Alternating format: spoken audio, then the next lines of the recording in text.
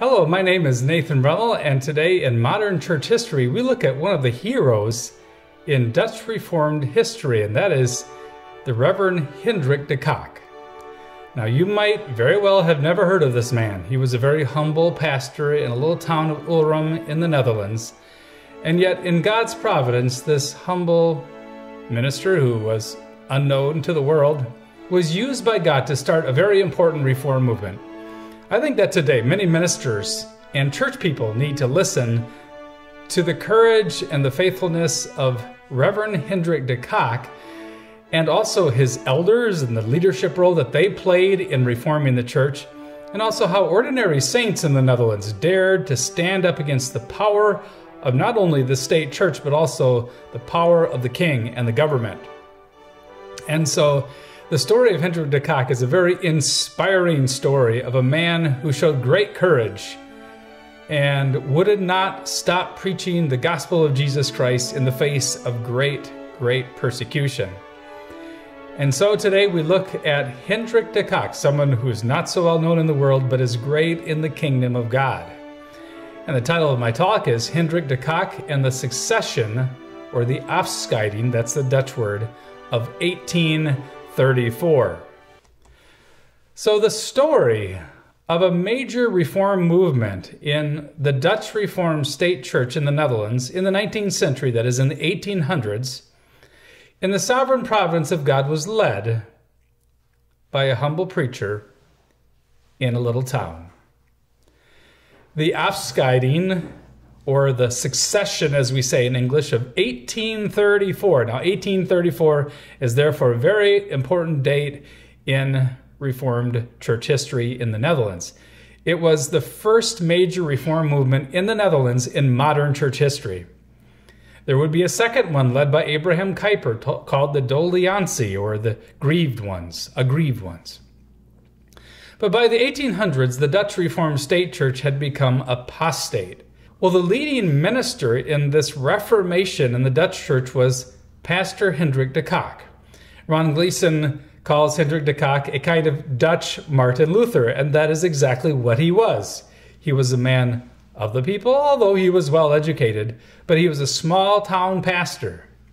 Hendrik de Cock was born in 1801 and passed away at a rather young age in 1842. And in his time, he was one of the typical apostate Dutch Reformed ministers.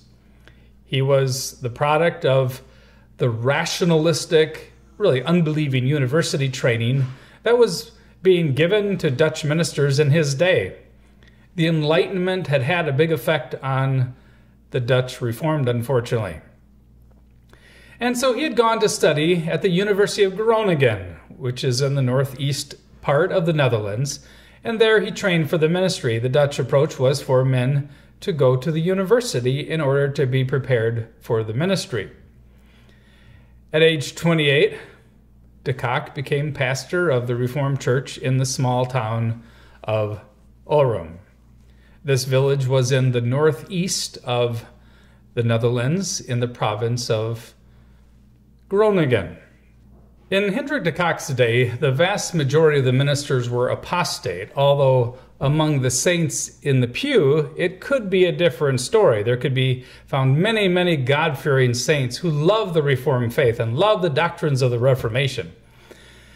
While their ministers were not even reading or even aware of the confessions of the Reformed churches, these ordinary saints read good books on theology and piety but amazingly, as a new pastor, Hendrik de Cock, even though he was a reformed minister in the Netherlands, was ignorant of the confessional teachings of his church. In fact, it blows the mind, but he had never even read the canons of Dort, even though they were one of the confessions of the church. He had even signed a formula of subscription in which he agreed to promote the doctrines found in the Reformed confessions. But apparently, the seminary or university where he studied there, the professors never taught the confessional documents to their students. Apparently, they didn't want their students to bring the great doctrines of the scriptures into the pulpit. And so, prior to Hendrik de Cock's conversion, which happened when he was a pastor, he had never even read John Calvin's Institutes of the Christian Religion, which was one of the most influential books of the Protestant Reformation and in the Reformed churches. That's how ignorant he was of his heritage. So he was a Protestant minister, a Reformed pastor, who was ignorant of the doctrines of the Protestant Reformation. Back in 1816, King William I of the Netherlands had put new ecclesiastical regulations into law. These regulations that governed the Dutch Reformed State Church were entitled General Regulations for the Administration of the Reformed Church. And if you would read through these things, it would sort of remind you of all the crazy ecclesiastical laws that had developed during the Middle Ages. These regulations in the Dutch Reformed Church were very detailed, filling several books. And instead of the Word of God guiding these regulations, they simply included many rules that the church bureaucracy wanted. You know, historically, the Reformed churches understood that it was elders in the local congregation who should have the oversight over the congregation. And the Reformed churches had protected the autonomy of the local congregation. But now that was a thing of the past. Things are run from the top down. One candidate for the ministry, in fact, was appalled when he read for the first time through these ecclesiastical regulations. He said, I looked into the great stock of regulations in my father's library, but to me those books had neither soul nor life. I did not live in that atmosphere. And that was, of course, a, a correct analysis of the legalistic and unbelieving nature of all these rules. The Dutch king even had a department of religion that oversaw the ecclesiastical regulations. Among other things, for example, the regulations required the singing of man made hymns, in addition to the Psalms. Later, Hendrik de Cock would get in trouble for only wanting to sing the Psalms. Now, by this time, the Dutch Reformed Church had been in long decline. After the Synod of Dort in 1618 to 1619, the Dutch rulers who belonged to the House of Orange had not even allowed another national synod to meet for hundreds of years. Therefore, no national synod had been able to meet in order to take heretics to task or to work at reforming the church. So, a high point in Dutch Reformed church history was the Synod of Dort, but after that, things fell into decline. And when a national synod was finally called in 1816, it was under the thumb of King William I.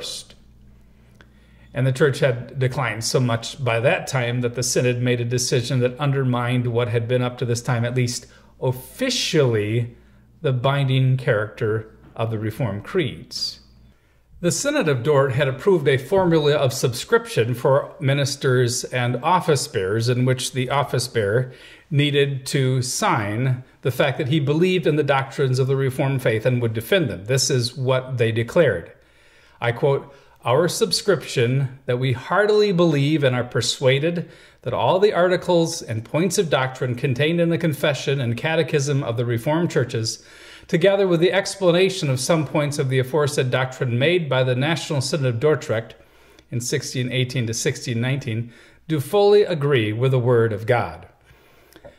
End quote. Now, notice how the office bearer expressed that the doctrines contained in the Reformed confessions fully agreed with the sacred scriptures.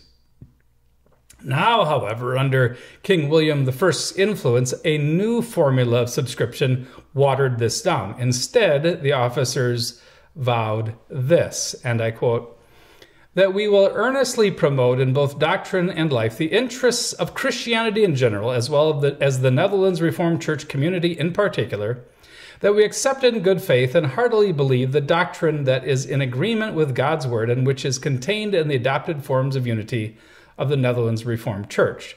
Close quote. So notice, because so many of the ministers didn't believe the doctrines of the scripture, now all the office bearers simply needed to say was that they agreed with the doctrines found in the Reformed confessions insofar as each one of them thought that they were in agreement with God's word. So this allowed ministers or elders to pick and choose what doctrines they wanted to believe and could believe and then preach. They only needed to believe what they wanted to believe out of the scriptures or the Reformed confessions. And that reflected the apostasy of the time. And so this change just provided official approval for the preaching of heresy, which was already widespread. Now, Hendrik de Cock himself was born in, on April 12 of 1801. He was the second of four children born to Tjaarda de Cock and Jante Kappen de Boer. The future reformer's father, Tjaarda, was first a sheriff and then a mayor in his town. So he was a rather influential man. The future reformer's mother, Ayanta, was the daughter of a rich farmer. Therefore, the de Cock family did not grow up as peasants or as farmers from really the lower classes like many of my ancestors probably were, but the de Cock family were part of the middle class in Dutch society. And like English society at that time, Dutch society was very, very class, class conscious. Hendrik's grandfather on Tjaarda's side of the family was a liberal preacher in the Reformed Church. The de Cock family held to a very rationalistic, moralistic, broad minded form of liberal Christianity. Now, as a boy, Hendrik, given his status as a middle class person, received a good education in the local public school.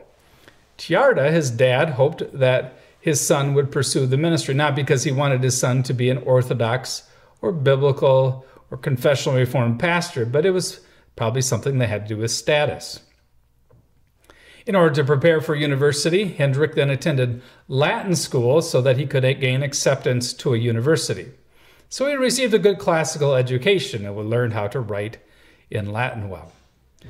His university studies then occurred at Groningen, and that's also, of course, where his seminary studies occurred as well. There he studied under liberal professors who tried to use the language of Reform theology while actively undermining Reform theology. That's something liberals do.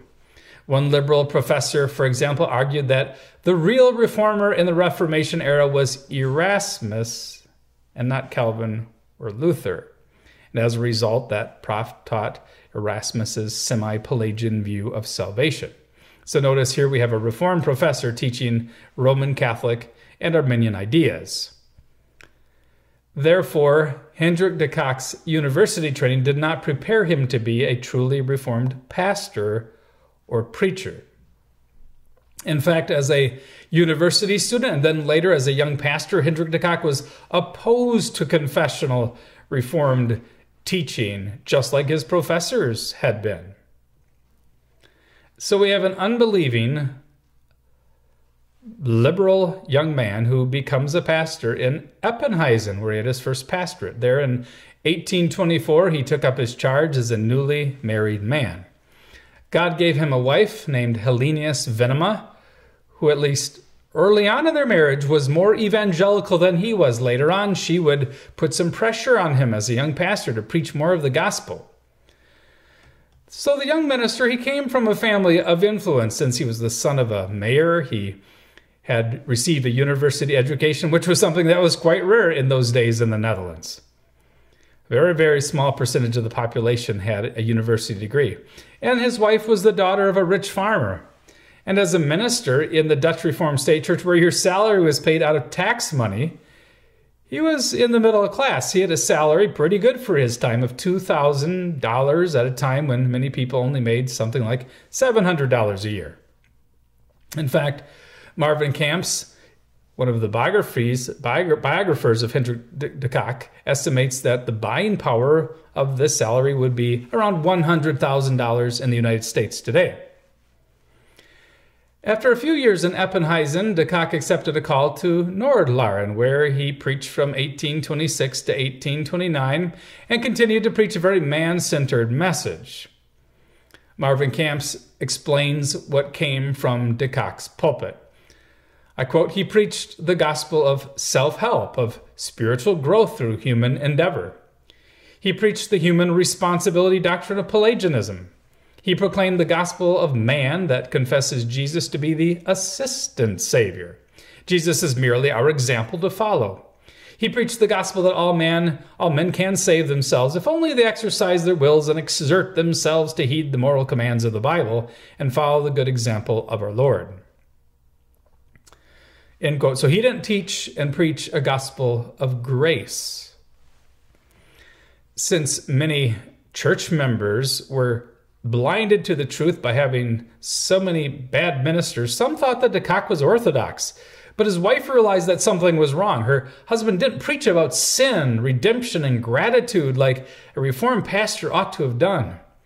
She also realized he didn't preach about the need for dead sinners to be regenerated, that is, born again. But unfortunately, his preaching was all too typical of the time. Camp summarized his preaching like this He was a preacher of morality and self help human responsibility. It reminds you of some televangelists today. God used several means to wake de Cock from his spiritual slumber. The first was his reading of five pamphlets by a man called Baron van Zuylen, who in this time period was publishing works that exposed the false teaching in the Dutch Reformed Church.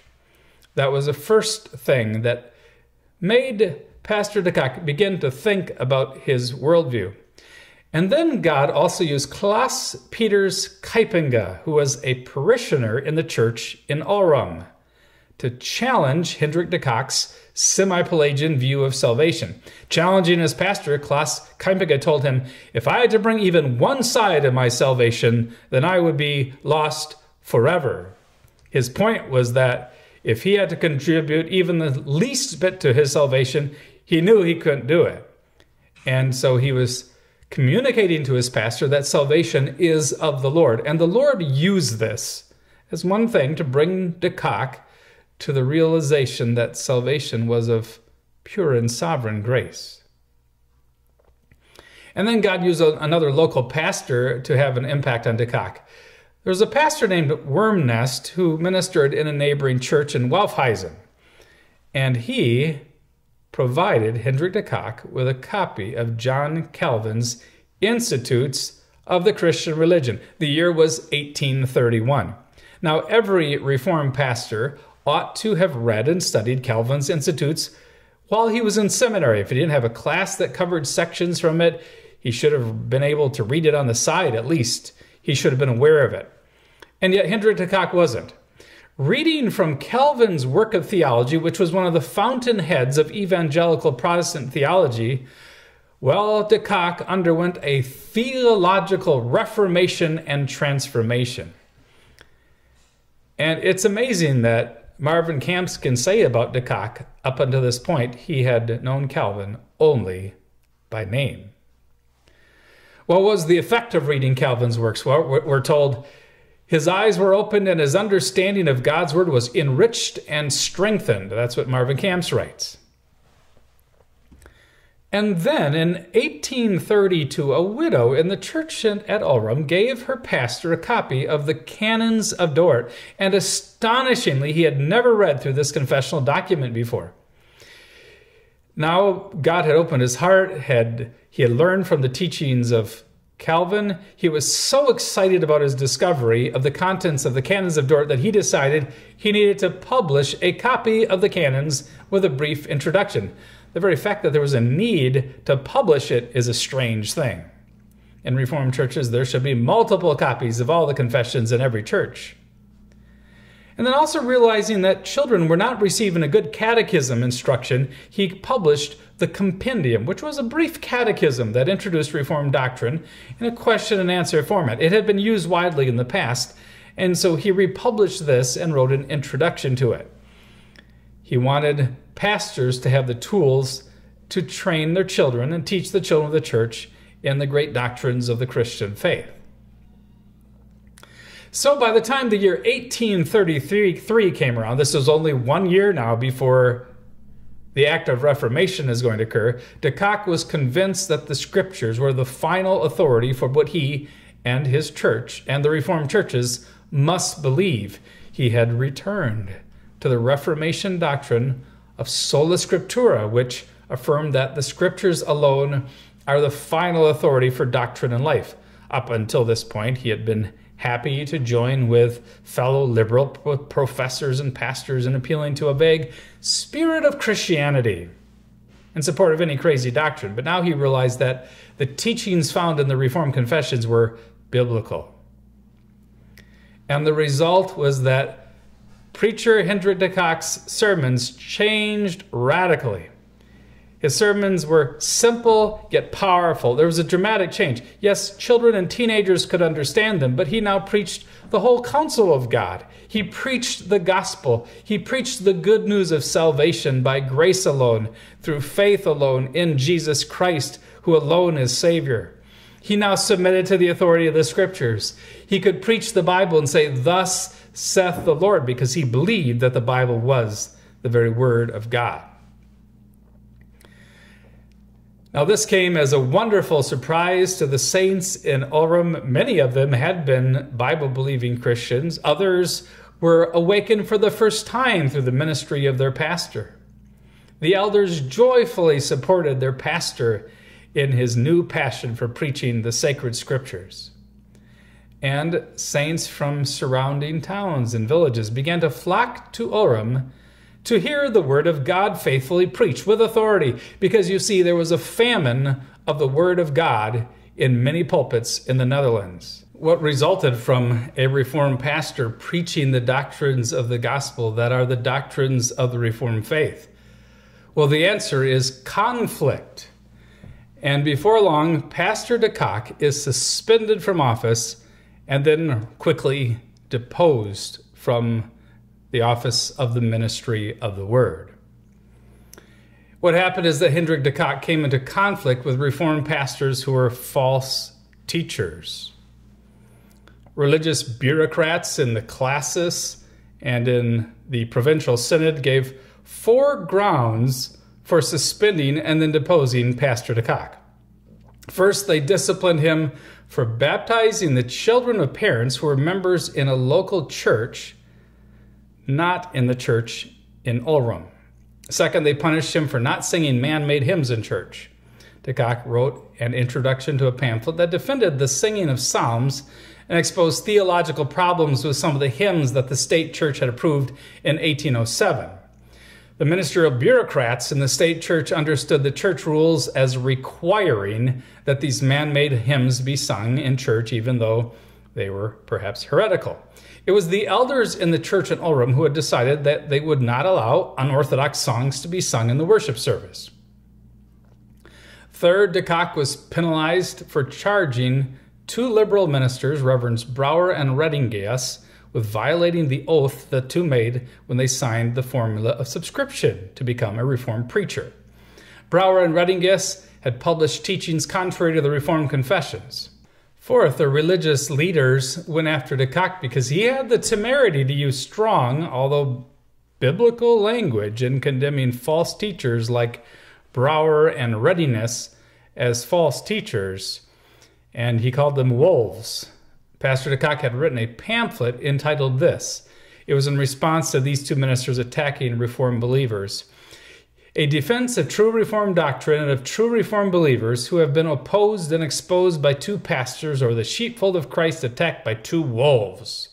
De Cock's opponents were false teachers who denied the divinity of Christ, rejected the cross as a wrath appeasing sacrifice, denied the necessity of the Holy Spirit causing dead sinners to be born again, preached that Jesus had sinned, and claimed that neither heaven nor hell existed. Ron Gleason is also critical about how de Cock took to baptizing the children of members of other congregations, as he puts it. But Gleason doesn't take into consideration the reason why de Cock baptized the children of saints who were members of neighboring churches. And then the funny thing is that later on, the Dutch Reformed bureaucrats actually felt that they couldn't penalize de Cock for baptizing the children of believers who were from other towns and other churches in other towns because there was actually nothing technically in their ecclesiastical regulations that forbid that.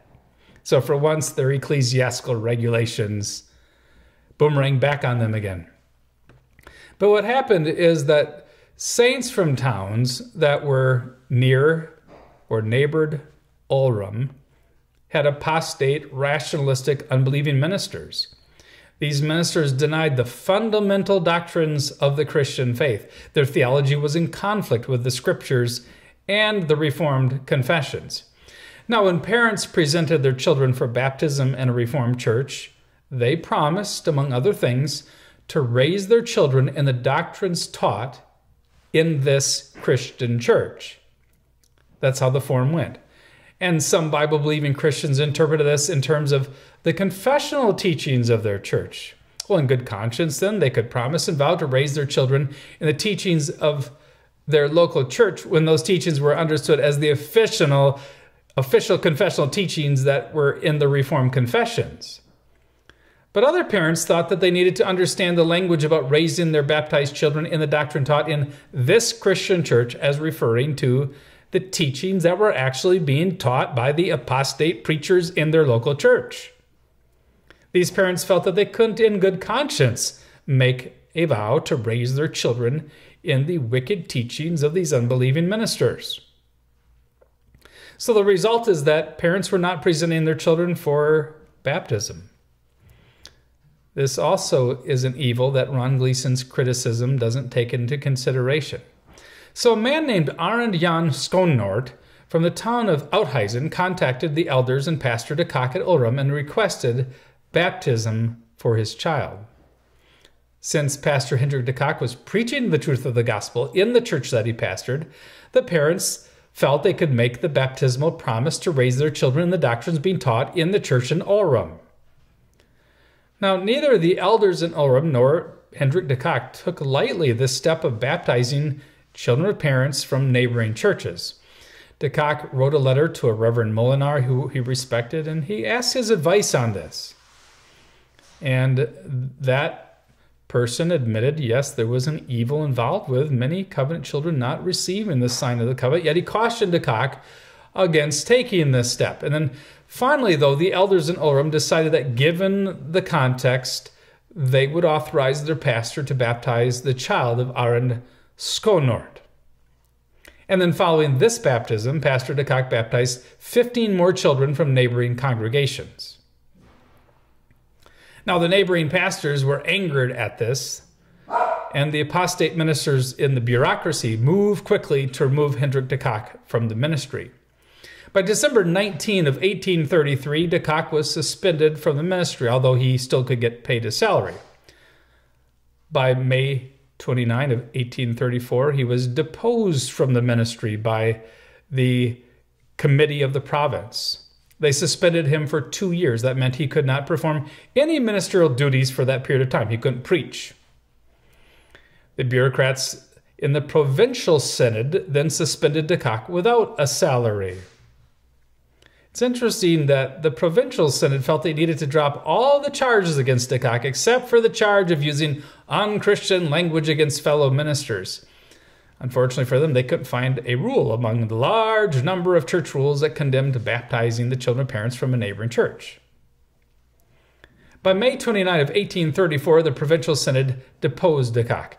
Now he was no longer a minister of the word in the Dutch Reformed State Church. Cock appealed to the National Synod.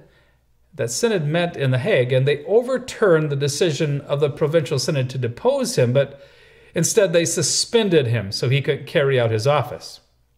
They decided he wouldn't receive a salary, and the National Synod told the provincial people that they could depose Pastor de Cock if he didn't change his ways in six months. And so there they had given a challenge to Pastor de Cock.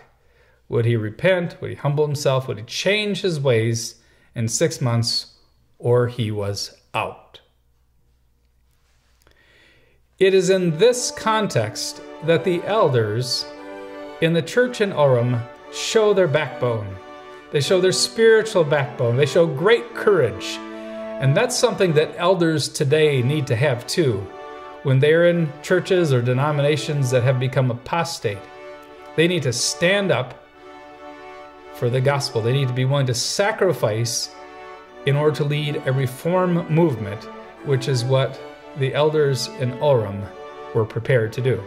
Next time, in our next talk, we will talk about the Reformation of 1834 and the great courage of the elders and the pastor in Ulrum and how they sparked a growing reform movement that God would use for much good.